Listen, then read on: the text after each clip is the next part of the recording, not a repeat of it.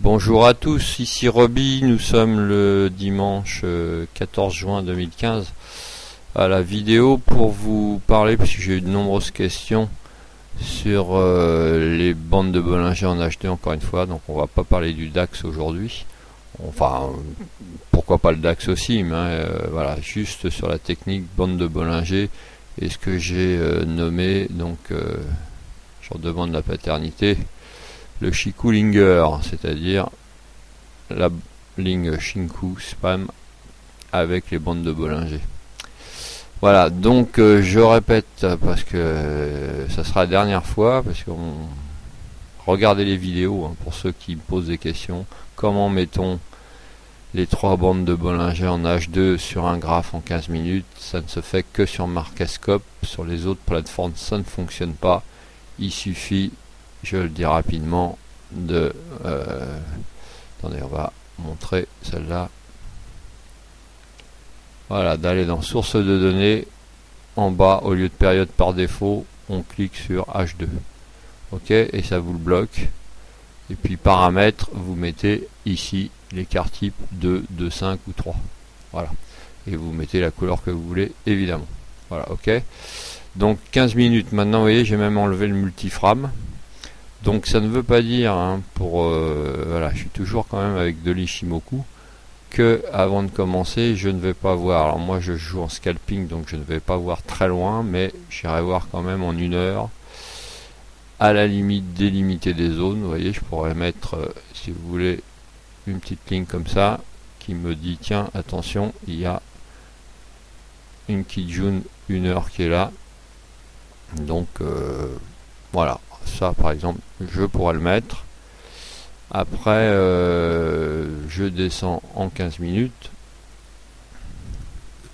Vous voyez. Et en 15 minutes je m'aperçois qu'effectivement ça correspond de toute façon au haut du nuage 15 minutes. Donc c'est très bien. J'ai un repère ici hein, par, exemple. De toute façon moi je trade là. On, on est parti à parler des bandes de Bollinger et des H2 donc plusieurs façons de trader, encore une fois. Je ne le fais plus en ce moment, je ne fais que du reverse, mais ce que je faisais dans le temps.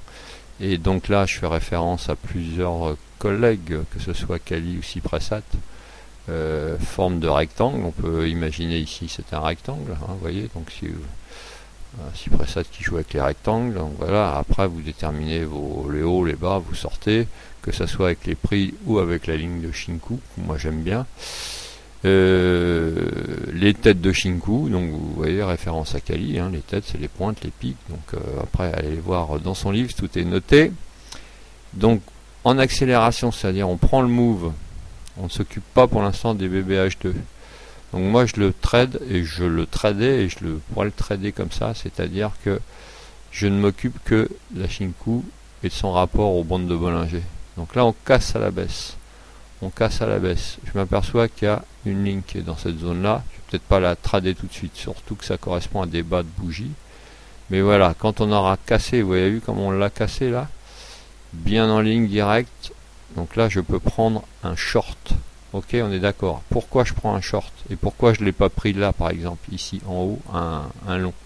Parce que vous avez vu que les bandes de boulanger sont juste là, juste derrière, en H2. Donc je ne vais pas les prendre un risque de pour refaire 20 euh, pipes alors que j'ai un risque de retournement. Là, ça me permet de prendre un short, même si je pars pas tout de suite à la cassure parce que j'ai déterminé ma ligne en une heure. En dessous, dès que je suis descendu, en dessous de cette ligne, je vais shorter. Ça me permettra d'avoir un stop relativement court de l'autre côté. Voilà, de l'autre côté des prix. Souvenez-vous que la Shinku n'aime pas rencontrer des obstacles. Là, il n'y a plus d'obstacles. Et donc, je peux tout à fait après envisager, et là, vraiment, euh, me paraît évident, au moins cette zone-là, c'est-à-dire là, je repars sur les prix, au moins quand les prix touchent la première bonne nombre Mais vous voyez que c'est souvent le Shinku qui fait référence. Donc, plus bas, on pouvait vraiment viser cette zone là ici. Pardon excusez-moi. On pouvait vraiment viser cette zone là voilà avec les prix et qui correspondaient en plus avec euh, la ligne de Bollinger H2 écart type 3 et puis la Bollinger 15 minutes dépasse les autres Bollinger donc là il n'y a aucun souci. On repart dans l'autre sens.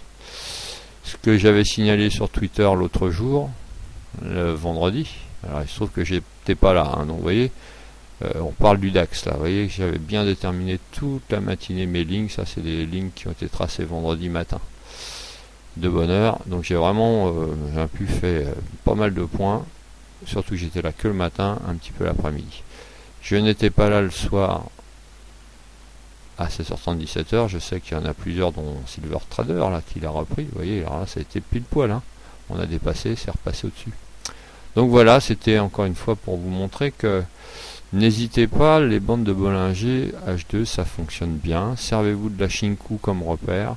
Presque, j'allais dire, plus que les prix. C'est vraiment une ligne euh, qu'il faut savoir maîtriser.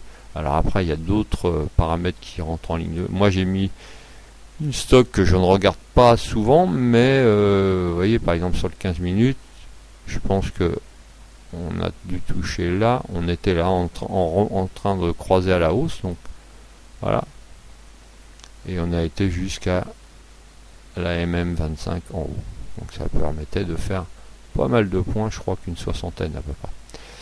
Donc voilà, j'espère que ça vous a intéressé, que la vidéo est pas trop longue. Donc souvenez-vous, hein, on peut le jouer en accélération, mais calculez toujours le risque, ratio gain-risque. Hein. Là, ça vaut aucun, ça vaut pas le coup de rentrer là. Ça vaut pas le coup, ça vaut pas le coup. Ici, oui, on le joue en Ishimoku traditionnel, hein. on enlève notre ligne là, puisque là c'était en amont. Voilà, voilà, on casse le nuage, le Shinku casse le nuage, ici on, sort du nuage, bah voilà, on pourra reprendre un long. Et là on est dans le Dishimoku euh, traditionnel, et donc on jouait la montée, jusqu'à que la Shinku recasse les prix dans l'autre sens. donc là, c'était vraiment un signe, dès que ça traversait, qu'il fallait prendre ses gains, même s'il n'y a pas beaucoup de gains de là à là, mais on pouvait le jouer de façon traditionnelle et là sans risque.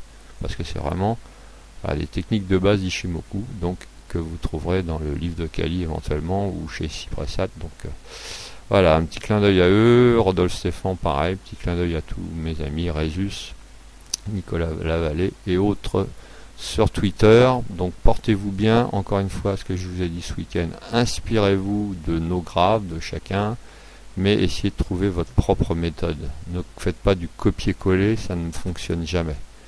Euh, donc essayez vraiment par vous-même de trouver votre façon de trader, que ce soit en scalping, que ce soit en, en swing, peu importe. Voilà, les techniques, une fois qu'on les a trouvées, elles sont valables dans toutes les unités de temps. Après, on, tout dépend du profil que l'on que, l'on est en tant que trader. Est-ce que je suis patient? Est-ce que j'ai mon temps toute la journée devant l'écran? Ou au contraire, est-ce que j'ai des, que des petites pauses entre deux euh, pour venir trader? Donc voilà, vous faites en fonction de ce que vous pouvez. Votre de management, faites attention. Voyez sur le... Alors que ça marche vraiment presque à 100% pour moi sur le Forex, euh, intellectuellement, je ne joue pas encore autant que sur le DAX. Mais je commence notamment sur le 4 GPI à prendre 100 lots maintenant. Euh, c'est le seul pour l'instant que j'ai osé sur lequel j'ai osé monter. Je crois que l'USD CAD, voilà, je l'ai fait aussi avec 100 lots, mais il est un petit peu plus euh, volatile celui-là. Voilà. Ok? Bon, bah, j'espère que vous aurez tout compris cette fois-ci. Et puis que, voilà, si vous avez des questions, N'hésitez pas quand même à me les poser, j'essaierai de vous répondre euh, aimablement ou alors regardez bien toutes les vidéos en amont. Je vous souhaite un très bon dimanche, je vous dis salut à tous.